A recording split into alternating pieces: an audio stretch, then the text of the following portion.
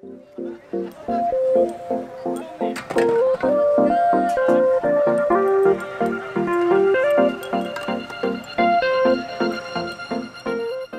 to another Imp Squared Vancouver Talks. Today we're at UBC campus, and today's question is if two people find each other attractive, can they just be friends? And to elaborate on that question, we're also asking if two people have been friends for a long time and one of them develops feelings for the other one, should that one tell the other one about those feelings? Or should they keep it to themselves and lock it up and ignore those feelings? First question if two people find each other attractive, can they just be friends? Yes. Yes. Most of my friends I find I'm bisexual, so most of my girlfriends like not don't worry. She's like "Mm." I'm, I'm semi-bi, don't worry. okay, most of my friends that I find attractive I'm like I'm, I have to be friends with them. but boys as well. A lot of my guy friends are really attractive, but there's usually some other reason why we're not dating. Like Okay. either they smell really bad or like something. Yeah, guys, stop, stop with that deal. Other, yeah. Guys, come on, like use some deodorant. I'd say so. Yeah. I think that that's a really old myth that doesn't.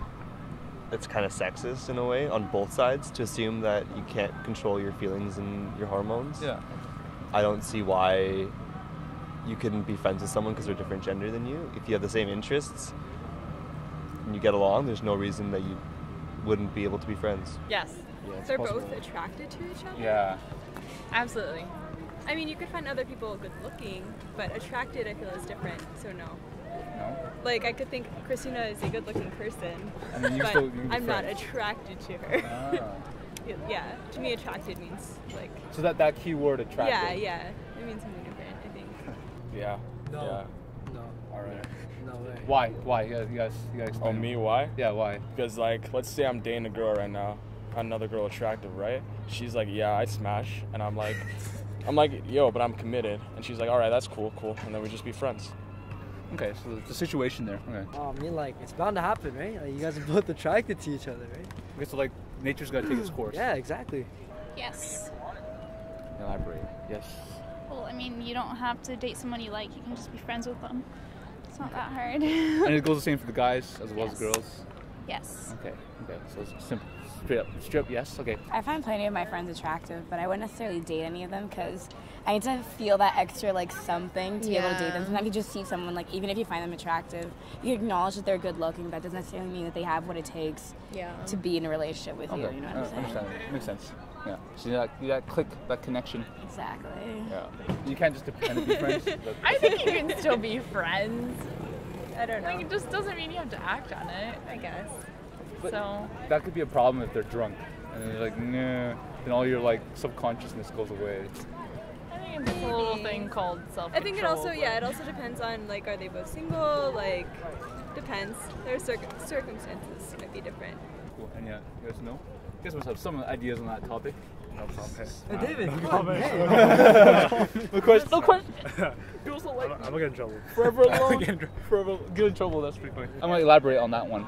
Okay, so let's just say you and your friend, um, you had a friend for a long time. It doesn't have to be you, but it could be like one of your friends, just through experience or a story you might have. Um, if they've been friends for a long time and feelings start to develop, either on one side, should that person withhold their feelings, not tell them, ignore the feelings? Should they actually speak up about the feelings?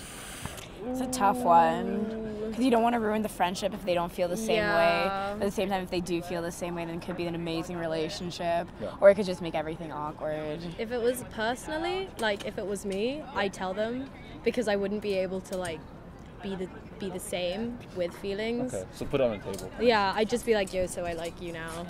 but like I know a lot of people that wouldn't do that. Yeah, I wouldn't. Like, I was in love with my best guy friend for three years, and I never told him. Oh, three Turns out he years. liked me too, but oh. See, you should have told him. Oh, you get a hug for that. It's okay. I know how you feel. I how you feel. Yeah.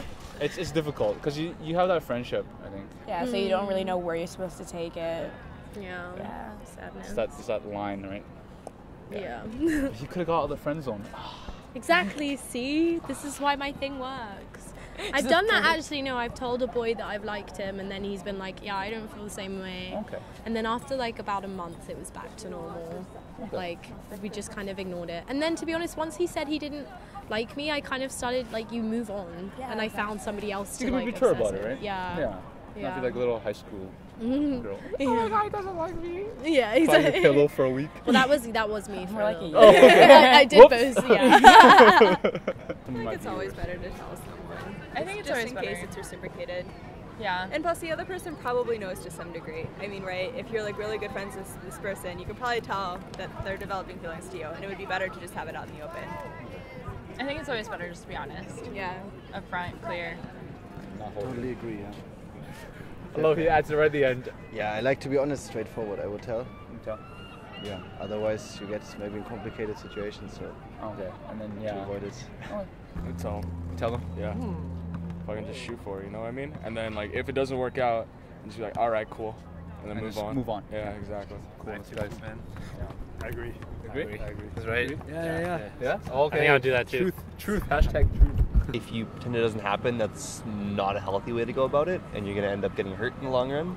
I think that if you're close enough with them that you've developed these feelings, you should be open about that with Just let them. them know. And either they'll be receptive because they're good friends with you and they'll be able to work through it with you if they don't have the same feelings, Yeah. or they'll have the same feelings as you do, Yeah. and you guys can develop a relationship from there. But I think that ignoring it's not going to go well at all. It's just gonna build. I think. Yeah, yeah, and then it's going to become Burst. worse for you in the relationship, and your friendship's Yeah. not going to last long.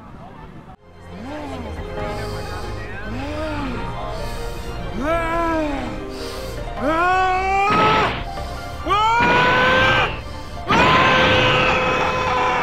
a club. Not club. yeah, definitely no, not a club. No. Why is that? Why? Because those hoes ain't gonna be loyal. Yeah. They're, actually really good. Yeah, yeah, they're not. Hashtag hoes not loyal. no, never, never. Can't trust no hoes.